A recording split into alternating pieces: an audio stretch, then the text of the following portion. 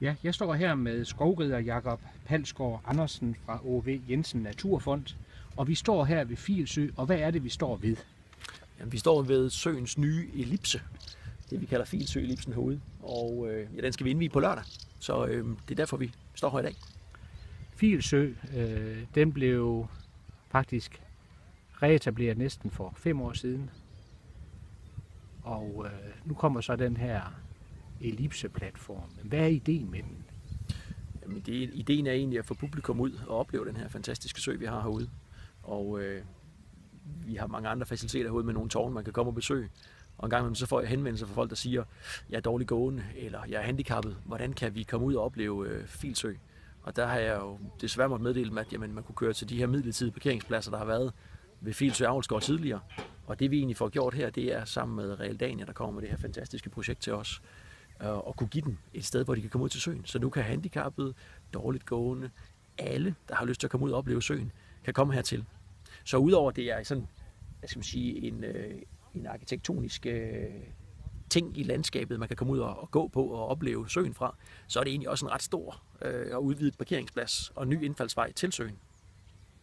Og hvad er der så sket herude de seneste fem år siden, at vandet øh, så at sige, begyndte at løbe ind i Filsø, delvis genoprettet, cirka 1000 hektar.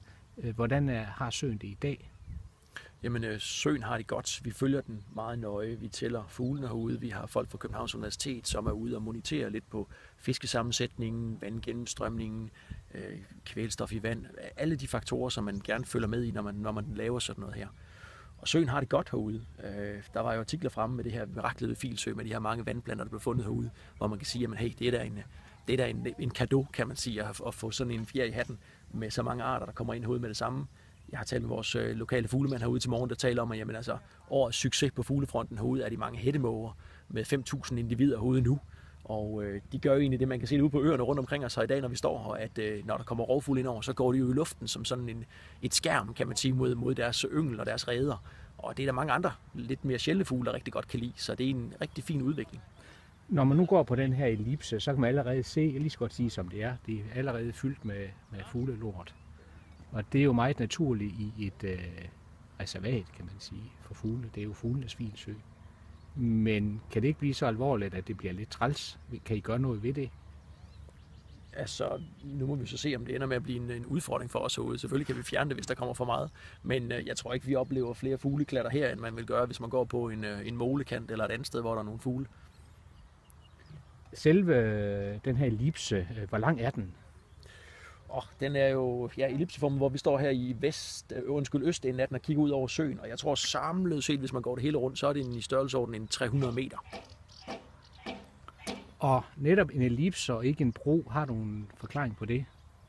Altså mange andre har lavet en bro før, hvis man bare lavede sådan en, en lige bro i søen. Nu er der nogle arkitekter indover, som, som siger, her har vi en idé til, hvordan man med lidt andre midler kan formidle naturen, og hvordan man kan komme ud og opleve den. Og øh, den her kampagne, som Realdania har kørt, der hedder Steder i landskabet, der har de slået ned øh, 10 forskellige steder i landet, for nogle meget kvalificerede arkitekter til at komme med nogle gode bud på, hvordan kunne man, hvordan kunne man få publikum ud og opleve naturen via en arkitektur.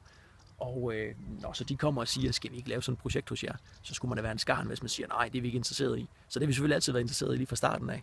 Og øh, ja, så ser man tegningerne på, hvordan sådan noget ser ud, og så skal man begynde at gøre sig nogle tanker om, hvordan ser det ud, og ses det for lang afstand, og hvad op og ned på det. Jeg synes, når man står her i dag, øh, selv som naturmand, så bliver jeg sådan helt varm om hjertet og tænker, hold kæft, det er sgu egentlig ret flot anlæg, så jeg håber, der er, jeg håber, der er rigtig, rigtig mange mennesker, der vil komme ud og, og opleve det herude, når vi åbner det på lørdag.